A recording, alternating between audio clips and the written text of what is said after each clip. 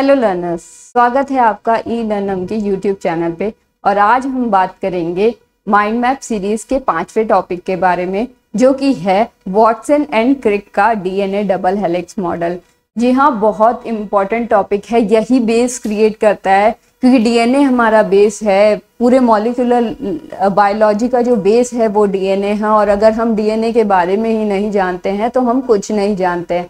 तो जी हाँ जो मोस्ट बेसिक कॉन्सेप्ट है, वो ये है डीएनए का double helical model by Watson and Crick और अब हम जानते हैं कि बी डीएनए कैसा होता है according to Watson and Crick बाकी के भी डीएनए जो है जेड डीएनए ए डीएनए उनके अगले सीरीज़ के में बात करेंगे। पर इस सीरीज़ में हम स्पेशली बात करेंगे बी डीएनए के हेलिकल मॉडल के बारे में। तो जी हाँ कि ये जो है, ये जो माइंड मैप है, वो डीएनए वॉटसन एंड क्रिक के डीएनए डबल हेलिक्स मॉडल के सारे पैरामीटर्स को कवर करता है और सारे चीज़ों को बताता है कि डीएनए के जो पैरामीटर्स हैं वो कौन कौन से हैं और उनकी लेंथ कितनी है, उनका टर्न कितना है, उनका एंगल कितना है, ठीक है? तो अब एक एक करके देखते हैं। तो जो, ये जो मॉडल था उसको, जैसा कि हम सब जानते हैं वेल नोन है कि James Watson and Francis Crick ने किया था इस, और इसीलिए इनको वॉटसन एंड क्रिक का मॉडल बोलते हैं, ठीक है?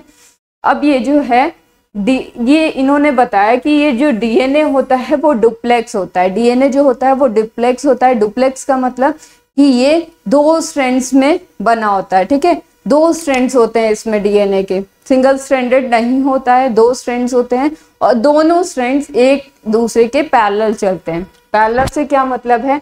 कि यहाँ पे आप देख सकते हो कि ये जी five dash two three dash ऐसे एक चलेगा, ठीक है?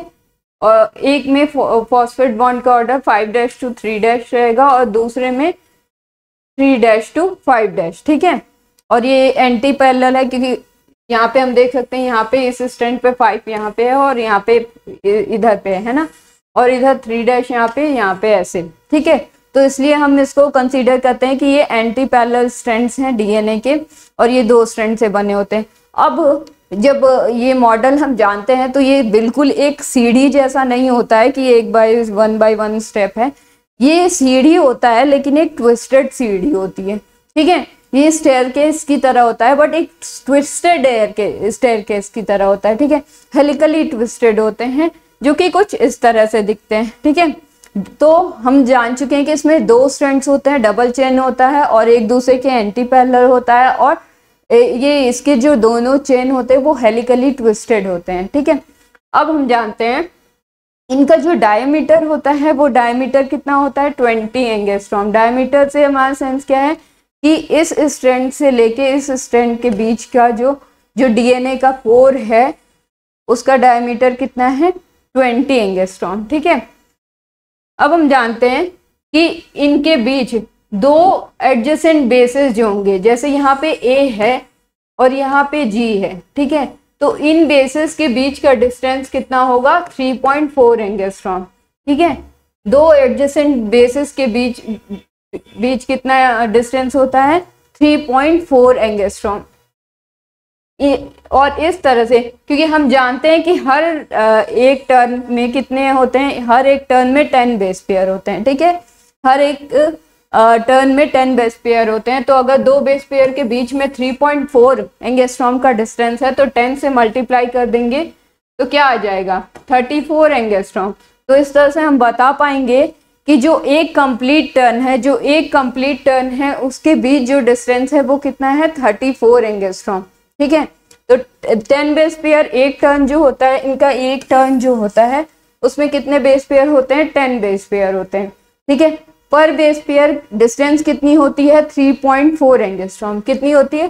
थ्री पॉइंट फोर एंगेस्ट्रॉम अब ऐसे टेन बेस बेस पेयर हैं तो थ्री पॉइंट फोर को टेन से मल्टीप्लाई किया तो पूरे टर्न की लेंथ कितनी आ गई? थर्टी फोर एंगेस्ट्रॉम ठीक है? पूरे वन कंप्लीट हेल्कल टर्न की लेंथ आ गई थर्टी फोर एंगेस्ट्रॉम ठीक है? अब इनका एंगल क्या होता है? इन टेन बेस पेयर का जब हेलिक्स बनाते हैं तो ये किस एंगल पे रोटेट कर, कितने एंगल पे? तो इनका हेलिकल टर्न जो होता है, एक 360 डिग्री का होता है, ठीक है? 360 डिग्री होता है। तो इस तरह से हम देख सकते हैं कि पर बेसिस पर रेसिड्यू कितना टर्न होता होगा एक डीएनए मॉलिक्यूल तो पर रेसिड्यूज ये डिवाइड होगा अगर हम इसको 360 को 10 से डिवाइड कर दें तो कितना आएगा? 36 डिग्री ठीक है? तो पर सीड्यू ये जो डी रोटेशन है, वो 36 डिग्री होगा। ठीक है? तो ये हम समझ गए।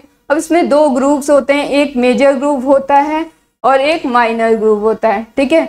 और जो बेस पेयर्स होते हैं, वो नाइट्रोजनस बेस पेयर्स होते हैं, जो हमने पिछली बार देख लिया था प्यूरिन्स एंड पायरेमिडिन प्यू ए जो है, वो टी से ज्वाइंट होता है डबल बॉन्ड से, और जो सी है वो ग्वानिन जी से बॉन्ड होता है, तीन हाइड्रोजन बॉन्ड्स के थ्रू ठीक है? तो ये हो गया इसका बेसिक और इनके, इनका ये जो बैकबोन होता है वो सुगर फॉस्फेट बॉन्ड से बना होता है पेंटोज और फॉस्फेट के बीच में जो बॉन्डिंग होती है उस बॉन्डिंग से फॉस्फोडाइस्टर बॉन्डिंग से जुड़ा होता है, बीच की जो बॉन्डिंग होती है हाइड्रोजन बॉन्डिंग होती है जो नाइट्रोजनस बेसिस और शुगर के बीच में बॉन्डिंग होती है वो ग्लाइकोसिडिक बॉन्डिंग होती है ठीक है? तो और ये बता दो कि ये जो जेम्स वॉटसन एंड क्रिक का मॉडल जेम्स वॉटसन और क्रिक मॉडल है डीएनए डबल हेलिक्स का डिस्कवर हुआ था क्रिस्टलोग्राफिक स्टडीज़ के हेल्प से ठीक है? तो आ, चलते हैं। अब इस लेक्चर में इतना ही मिलेंगे अगले माइंड मैप सीरीज़ में। तब तक के लिए थैंक यू फॉर वॉचिंग